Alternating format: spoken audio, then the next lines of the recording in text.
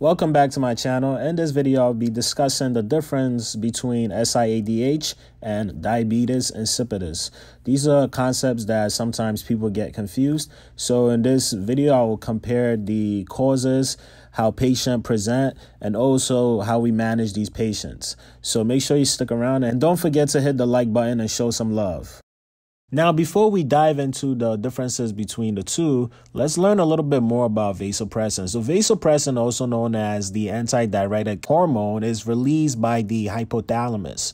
So, it basically it retains water, right? It's the opposite of diuresis of a diuretic. So, it has several functions. So, one being osmotic balance. So, pretty much whenever, let's say, the concentration of your blood is high, your hypothalamus is going to release antidiuretic hormone to retain retain more water and reduce that concentration. Blood pressure regulation. If your blood pressure is high, you probably don't want vasopressin floating around because it's going to retain more volume and which can increase the blood volume, right? And increase your blood pressure subsequently. Sodium homeostasis. If let's say your urine is highly concentrated, right, with sodium, your body is going to reduce the amount of vasopressin it releases so that you can get rid of more water, right? So that your urine will become less concentrated.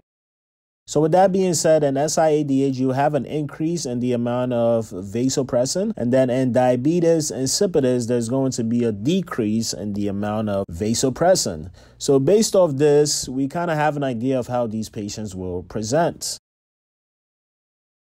So now we know which one increases the vasopressin and which one decreases it.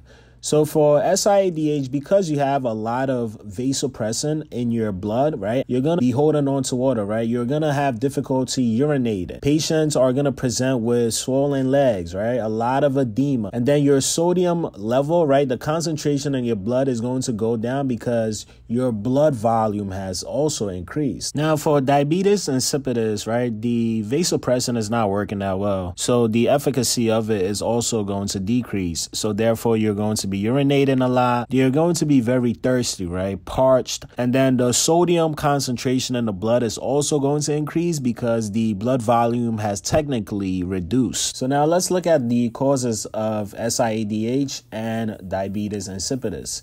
For SIADH, um, a patient may have a malignancy in the brain, which will lead to the hypothalamus releasing a lot of vasopressin or it can also be a malignancy in the lungs. So even though it's not in the brain, this type of cancer is going to cause your brain to release a lot of vasopressin and drugs such as anticonvulsants and antidepressants. For diabetes insipidus, there's two main types. So there's a central and then there's nephrogenic. So for the central is usually caused by a malignancy which will reduce the amount of vasopressin that is released. So nephrogenic can be caused by an infection where due to this infection, the vasopressin is not working well when it binds to the receptor. Or it could be passed on, so hereditary. So this is due to a mutation in the vasopressin receptor, which is also known as AVP, arginine vasopressin receptor. So there's a gene mutation and then this is passed on. So whenever the ADH binds to it, it's ineffective.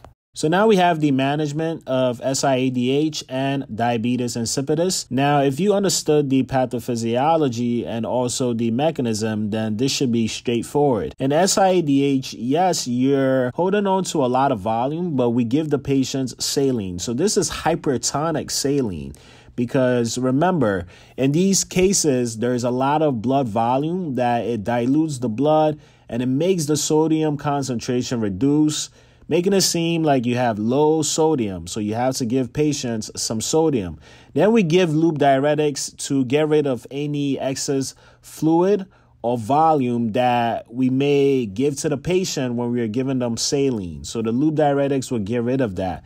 And then you could give something known as a vasopressin receptor antagonist. So these work on the AVP receptors in the kidney. They bind to it and then they prevent the vasopressin from working. And then we have diabetes insipidus, where in this case, the patient is losing a lot of water. They're very thirsty and the antidiuretic hormone is not really working. So that is why we give desmopressin, which is pretty much like a synthetic version of ADH So it's going to go to the kidneys and bind to the AVP receptors, and then it's going to allow your body to start retaining water so that you're not losing so much. Hydrochlorothiazides have also been shown to have some benefit. The mechanism is not really clear, and for the NSAIDs, it's able to reduce the amount of urine that your kidneys produce by causing vasoconstriction. And that will be the end of this video. I hope I was able to break it down so that you was able to understand the difference between SIADH and diabetes insipidus. If you enjoyed the video, please hit the like button, subscribe, and then leave a comment down below. If you have any questions, please let me know. Thank you for watching this video and take care.